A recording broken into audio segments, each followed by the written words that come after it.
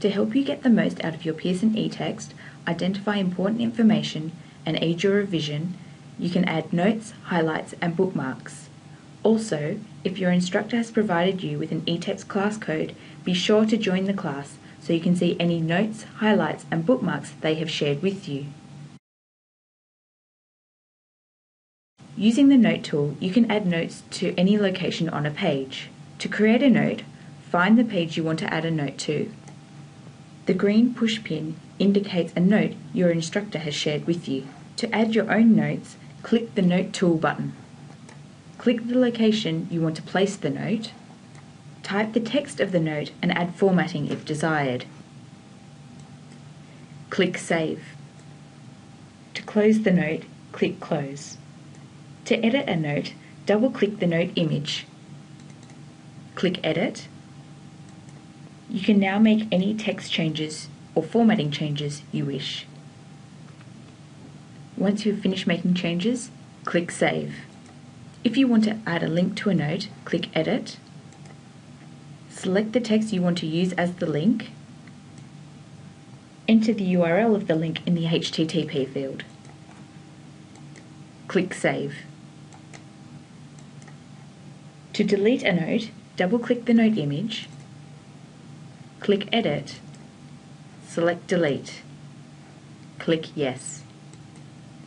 To view, locate, edit, delete, print, and export notes in your eText, open the Notes Manager. When you open the Notes Manager, it displays all the notes on the current page by default. If you wish to find a specific note, you can search using the drop-down options. The highlighter tool allows you to mark an area of importance on a page within the eText. To add a highlight, click the highlighting tool button on the toolbar. There may be several options of colours of highlights for you to choose from.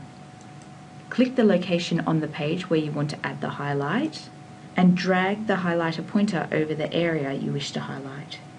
To resize a highlight, double click on the highlight.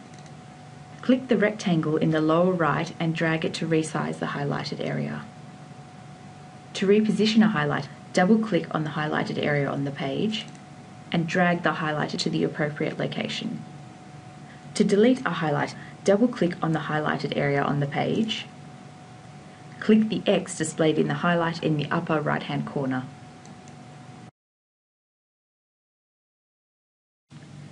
Bookmarking a page in an e-text is similar to inserting a bookmark in a book. You mark specific pages in the eText so you can easily find those pages at a later time. To bookmark a page, find the page you want to add a bookmark to and click the Bookmark Page button.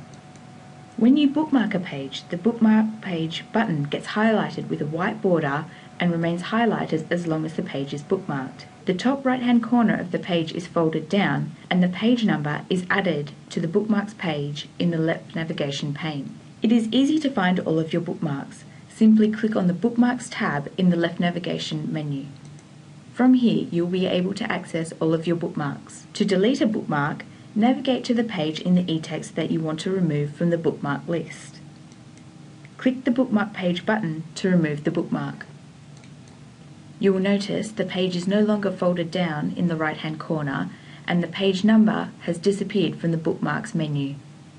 Congratulations, you now know how to make the most of your eText by adding notes, highlights and bookmarks.